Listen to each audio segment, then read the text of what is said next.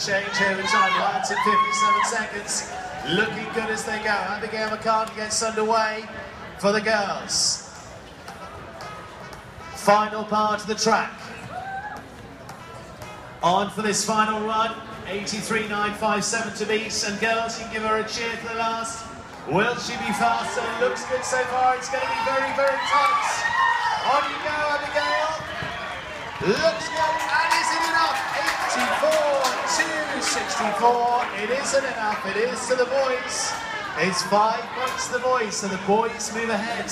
They go on to eight. I'm afraid, girls, you've got some ground to make up now. But 10